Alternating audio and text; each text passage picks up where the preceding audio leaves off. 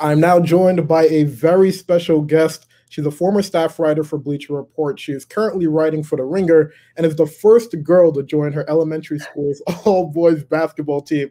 But beyond all of that, she is the author of her debut book titled Giannis The Improbable Rise of an NBA MVP. It is Miss Mirin Fader. Mirin, thank you so much for taking the time. Oh, no, thank you for having me. I'm excited to be here.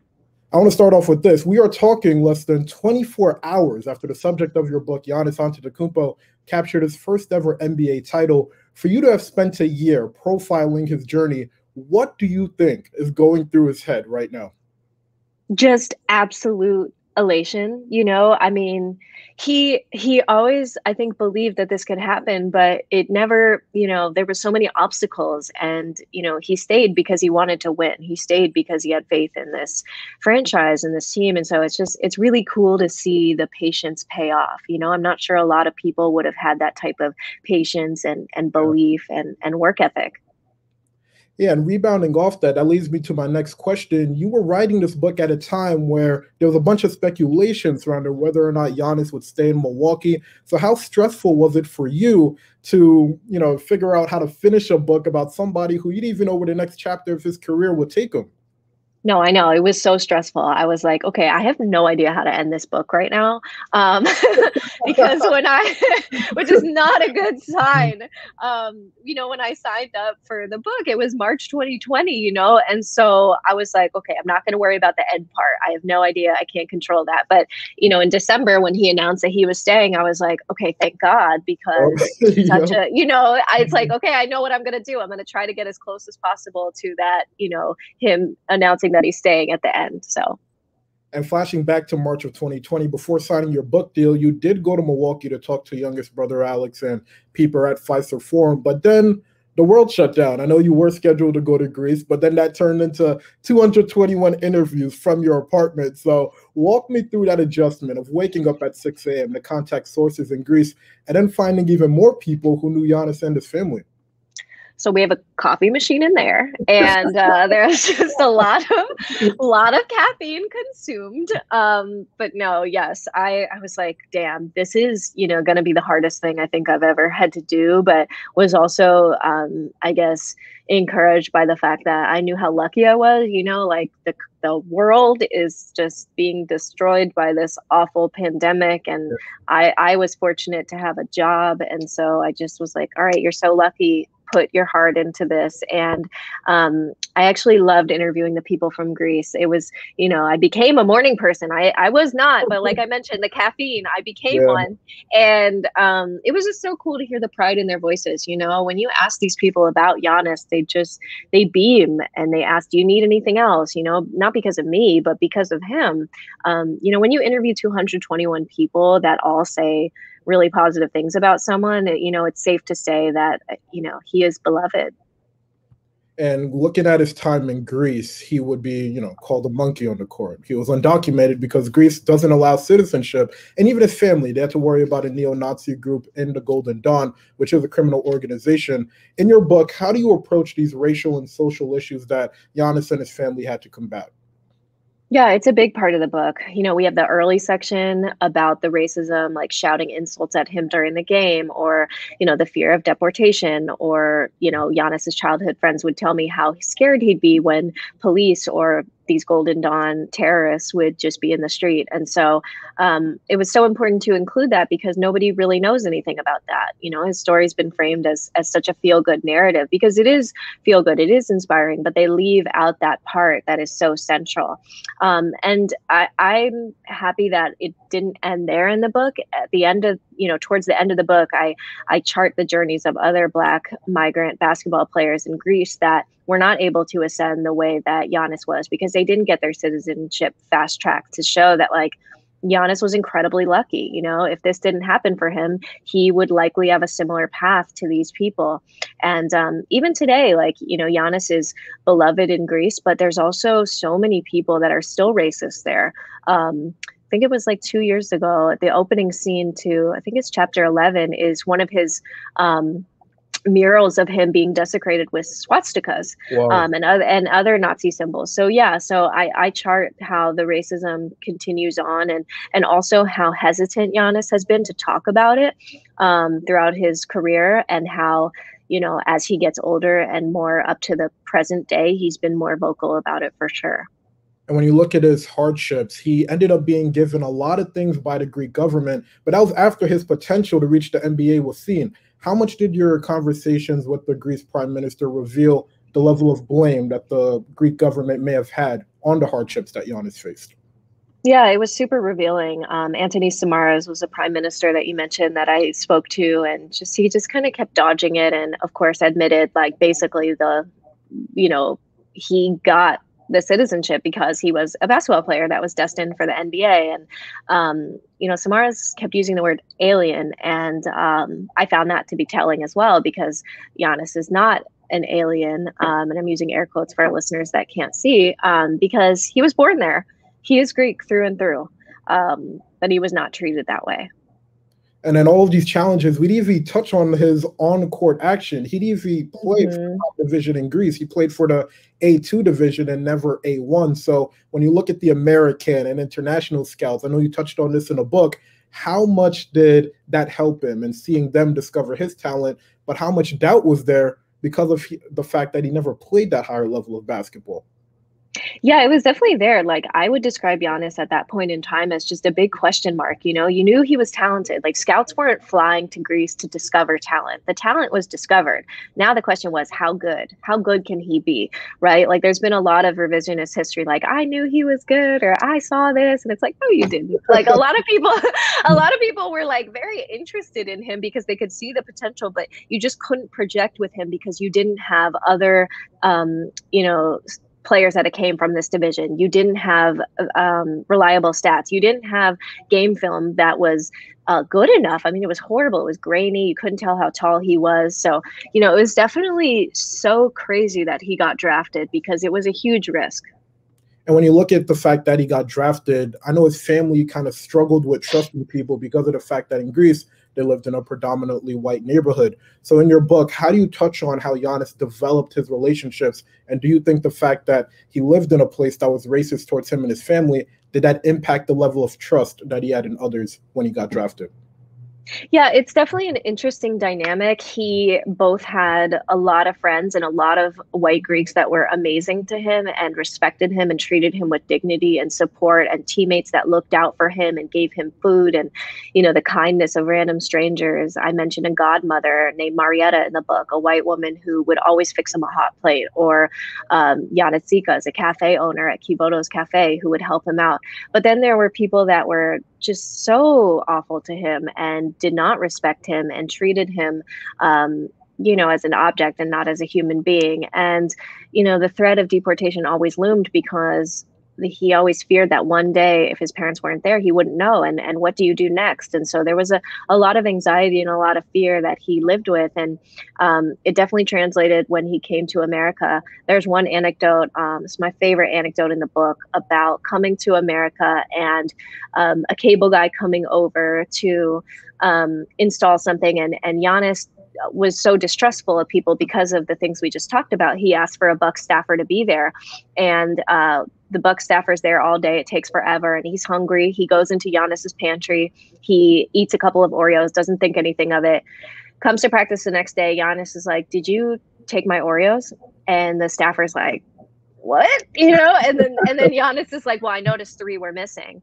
Um, and so it's just such a it's just such a example of what we're talking about, which is he can't escape what he went through, and even though he's in America, he has food now, he has money now, he's always the child that is fearful of not having enough. And that trust, it didn't only stay with Giannis, but it stayed with his entire family. I know that you interviewed pretty much every single person close to Giannis for this book. How did you develop those relationships? Because I know at first when you were talking to his mother, she was kind of distance on the couch away from you. But as time mm-hmm. went on, how did that relationship grow to the point where she opened up to you about a long range of things? Yeah, I think that day that you're referencing that I spent in Milwaukee um, was just such a special day. I got to go to their home. Um, I got to be around them at the practice facility. Um, I think it's just asking questions about more than just painful experiences. I think they're so used to people being so enamored by their hardships. People rarely ask about the joy and the happiness and the good times.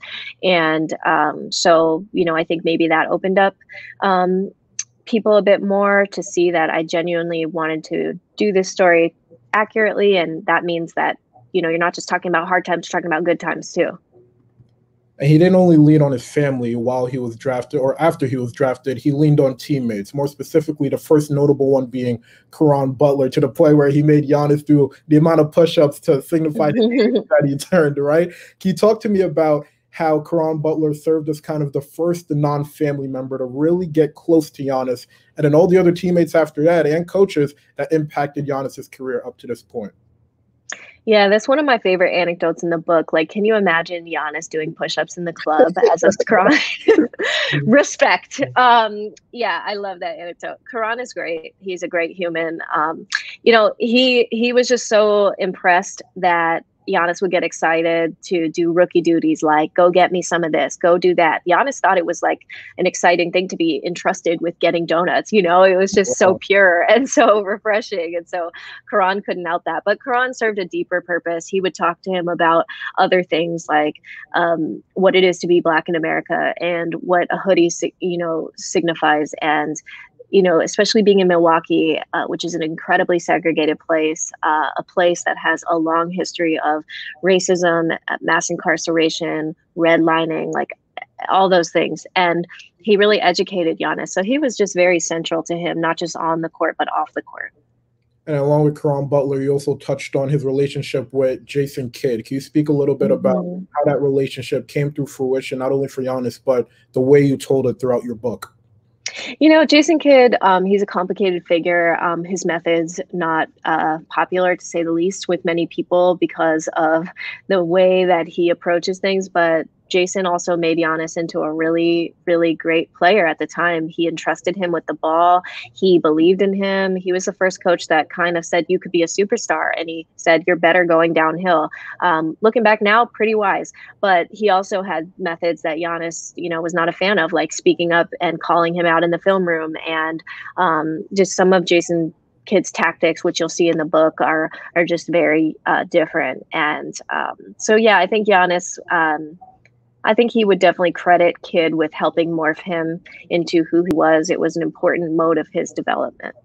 And although Kidd obviously ended up not being with the team, can you attribute Giannis's success at this point in time to the fact that Kidd put so much responsibility on him, put so much on his back, and called him out at times where other players would be uncomfortable being told those type of things? I mean, I think Kidd, you know, has a, a place in his journey. You know, Giannis would be the first to say it takes a village to make someone great. And Kidd definitely, you know, helped him with this. But it was also Sean Sweeney, you know, the assistant coach on Kidd's staff. Sweeney spent hours and hours and hours and hours with Giannis, you know, devouring film. And so I think all of these people played a tiny role. I think Giannis would be successful no matter who coached him. Um, it was his own work ethic that got him to where he is, but for sure, all these people impacted him. I kind of want to shift gears now to the family aspect. If there's a central theme of the book, it's family. From his mom selling stuff on the side of the road, selling her wedding ring so the family would have enough money to eat. Talk to me about how much family plays a central role in this story. You probably don't even have a story without family in it, I, I'm sure.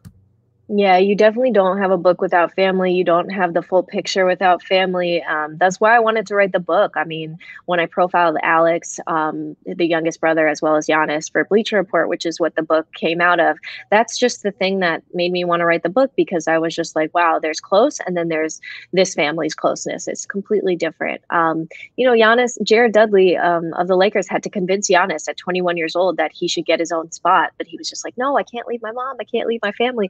So so um, you know I, I, just think it's so special and it's so pure. And um, that's why a lot of people love him because he never forgets those who have been with him this whole time.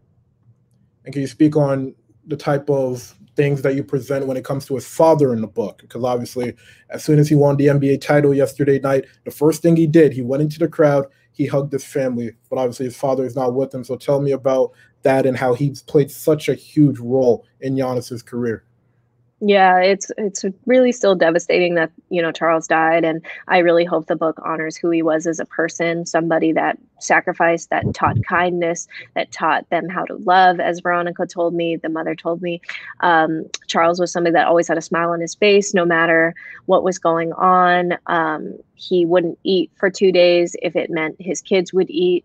Um, he was so proud of Giannis. Uh, he he just beamed at him when he came to Milwaukee, and he would try to tidy up Giannis's apartment when Giannis was at road games. Just just so lovely. Um, and that was obviously devastating for all of them. Um, so you know everything that Giannis does and everything that his brothers do, I know that uh, they're doing it for their dad.